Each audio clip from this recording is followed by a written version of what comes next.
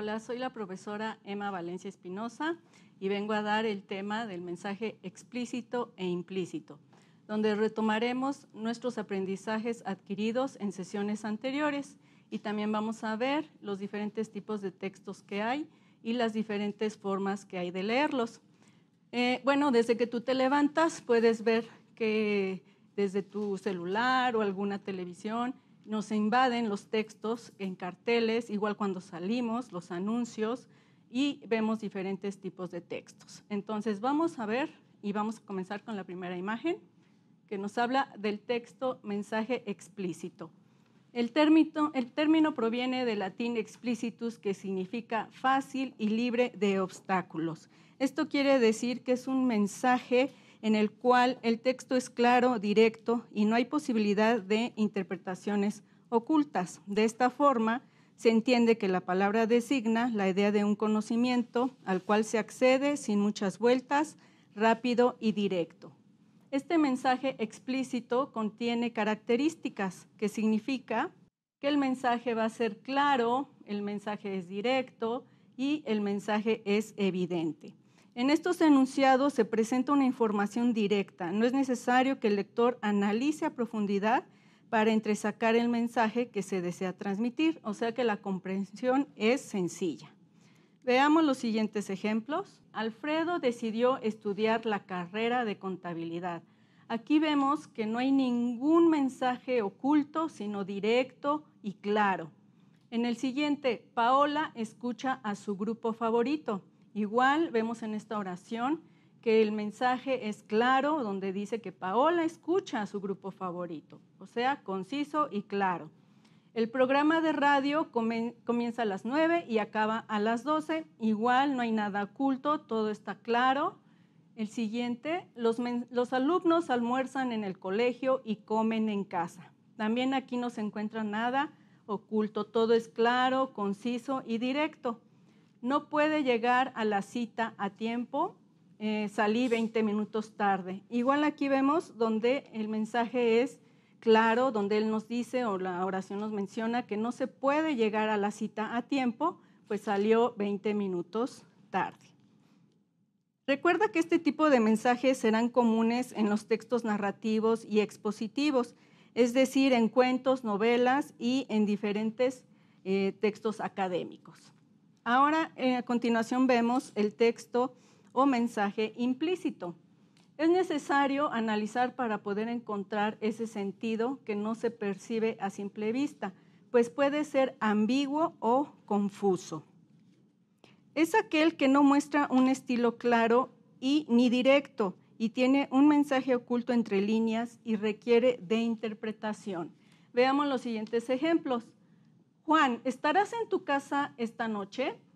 Le pregunta Raquel. Estaré muy ocupada. Eh, me ha quedado trabajo pendiente. Aquí vemos que el mensaje no es claro. Hay algo oculto donde Raquel no le está contestando a Juan de una forma explícita, sino implícita. Eh, igual el siguiente ejemplo, juega baloncesto los lunes. Aquí, bueno, también es un mensaje implícito donde no, no nos dice quién va a jugar el lunes eh, y bueno, pues es algo que se tiene que analizar. El siguiente, de pronto escucharon un ruido espantoso. Bueno, pues aquí también podemos ver que es un mensaje implícito, pues hay un mensaje oculto que debemos de analizar. Le duele la muela justo el día de clases. En este ejemplo vemos que no dice a quién ni cuándo, solamente que le duele la muela. Entonces tenemos que analizar y sintetizar qué pasa aquí. El siguiente ejemplo, es mejor caminar con el pie sano.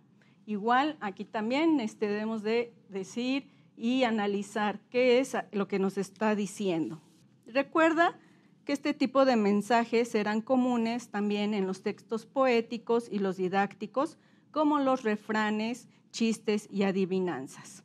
Y bueno, la diferencia entre estos dos tipos de expresión radica en la intencionalidad del emisor.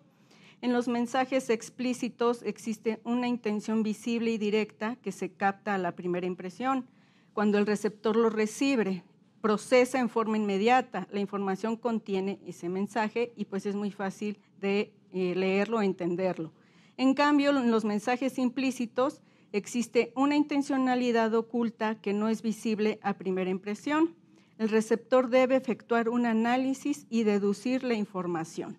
También aquí nos pueden servir de ejemplo las expresiones idiomáticas, que son cuando nosotros traducimos algo de un idioma a otro, pues si lo eh, traducimos palabra por palabra, pues no lo vamos a entender y entraría a ser un mensaje implícito, ya que debemos de conocer, analizar el contexto. Bueno, para que quede más entendido, veamos las siguientes imágenes, mensajes explícitos e implícitos, donde observamos refranes. Estos refranes pueden tener un mensaje claro y otros pueden tener mensajes ocultos. Y bueno, leamos el primero que nos dice zapatero a tus zapatos. Eh, aquí pues puede ser una manera implícita o explícita según también tus microhabilidades de análisis y síntesis que tengas. El siguiente, más vale estar solo que mal acompañado. Creo que sí es muy explícito este mensaje, pues nos dice que más vale estar en soledad que con una mala compañía. El siguiente nos dice que de tal palo, tal astilla. Bueno, aquí sería algo como un mensaje implícito donde sería ver el contexto, ¿verdad? ¿Qué nos quiere decir? Después, perro que ladra no muerde. Igual es cuando una persona pues habla mucho y pues no hay nada de acción. Sería también un mensaje explícito o implícito también según el contexto. Bueno, pues es momento de poner énfasis y volver a mencionar que el mensaje explícito tiene un mensaje claro. Podemos observar este refrán que dice, rana que no canta, tiene algo en la garganta. Aquí podemos decir qué es lo que le ocurre a una persona que no quiere hablar y, y, le está pasando algo. Sería un mensaje explícito, pues no hay nada escondido y sería muy fácil de interpretar. En el siguiente ejemplo vemos, camarón que se duerme se lo lleva la corriente. Aquí también sería un mensaje explícito en el cual nos dice que si el camarón se duerme, pues obviamente la corriente marina se lo va a llevar. O también puede ser que una persona deje pasar una oportunidad. Ahora veremos ejemplos de mensaje implícito en refranes donde puede estar oculto lo que nos quiere decir. A palabras necias, oídos sordos. Aquí analizando este refrán nos quiere decir que si alguien está de necio es mejor evitarlo.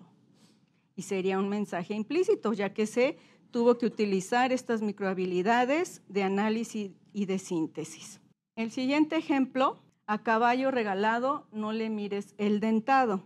Bueno, a primera lectura es un poco confuso y oculto el mensaje. Analizando nos quiere decir que si alguien nos obsequia algo no debemos recibirlo de mala forma si no es de nuestro agrado. Y al contrario, pues debemos de agradecerlo. Bueno, vamos a ver unos ejemplos también que hemos mencionado de mensajes explícitos e implícitos en poemas. El primero que tenemos aquí, un párrafo, es de las seis cuerdas de Federico García Lorca, que nos dice, la guitarra hace llorar a los sueños, el sollozo de las almas perdidas se escapa por su boca redonda. Aquí podemos ver que este mensaje no es muy claro, no es muy directo, debemos de usar las microhabilidades. Y su descripción sería que no habla solo de una guitarra, sino va más allá de lo que un instrumento y la define como algo más, como arte, como un objeto, como el poder para hacernos soñar o para llevarnos al más amargo de los llantos con su hermosa melodía. El siguiente poema es de Amor Eterno de Gustavo Adolfo Becker.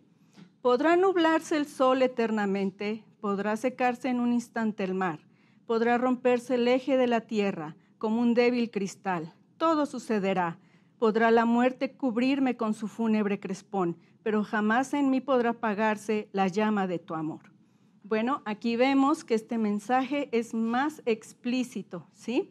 Ya que este poema lo podemos ver que se puede dedicar a una persona que amas, pues se puede tratar de una serie de promesas de amor. Veamos los siguientes.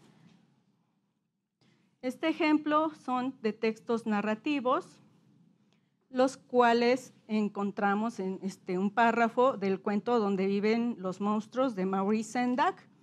La noche de Max, la noche que Max se puso su traje de lobo y se dedicó a hacer travesuras de una clase y de otra, su madre lo llamó monstruo y Max le contestó, te voy a comer y lo mandaron a la cama sin cenar.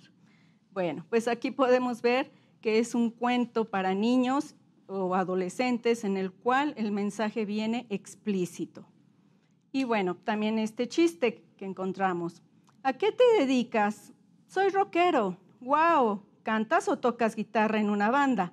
No, junto rocas y las vendo.